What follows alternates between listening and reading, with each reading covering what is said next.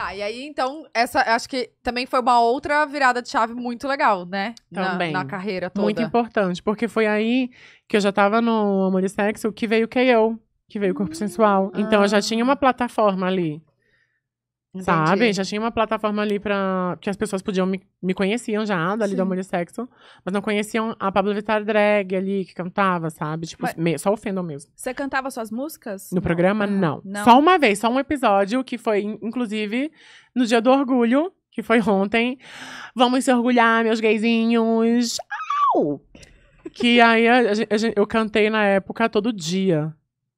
Todo Tá. dia, não espero que o carnaval chegue pra cima. Tinha, só todo dia, só todo dia. Só Pum, todo pum, dia. pum, pum. Que foi esse boom aí também. Também Foi, foi. quando a Anira me chamou pra cantar no bloco. Gente, que época, né?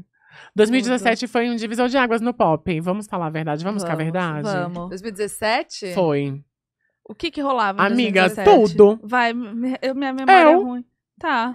Sim. Não, você já, já, já existia, já. Não, né? amiga, mas ali, tipo, foi meu primeiro álbum autoral, sabe? Porque Ah, antes era só o EP com EP. versões, eu não tinha música minha. Verdade. Então, 2017 foi um boom mesmo. Que eu e a Anitta me notando. Major Laser, sua cara. Gente. 2017 teve sua cara, amiga. Nossa, Tudo. sua cara é... Sua cara. Bicha! Mais de 500 milhões de views, eu acho que até hoje ninguém fez. E de, ouso dizer que vai fazer algo parecido no pop brasileiro. É, Babado. foi- não um- vai, Mona. Vamos com a verdade? Vai. Vamos com a verdade? Eu e a Anitta, a gente se lascando lá no sol, na areia No quente. deserto. Mas eu prospecto pra que venha e que eu esteja nesse feat. Se vai tiver, vir, que se eu tiver. esteja. Se tiver, que eu esteja.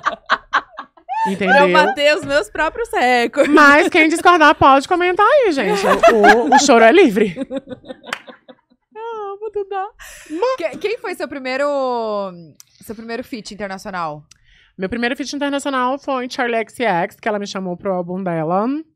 Na verdade, eu e Charlie, a gente é quase eu e Luísa Sonza, dupla sertaneja, né? Eu e Luísa, a gente tem várias músicas já. Inclusive, vou chamar a Luísa também pro meu próximo álbum. E.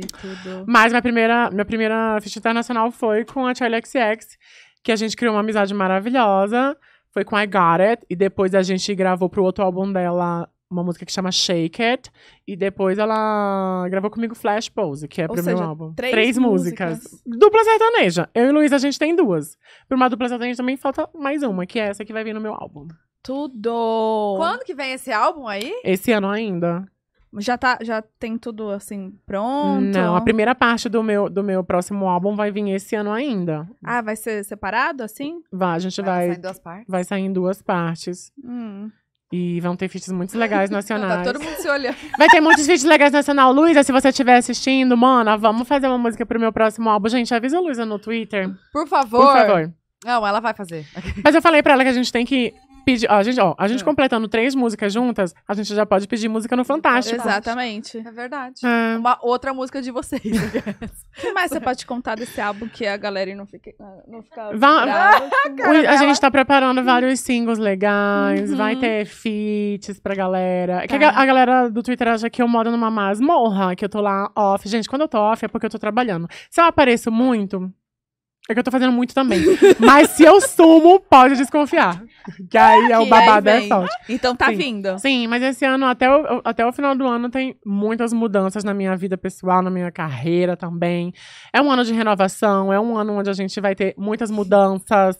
If you know what I mean. Ó, tá vendo? Eu já falando inglês aqui de novo. Mas é isso. E eu já tô um pouco ansiosa.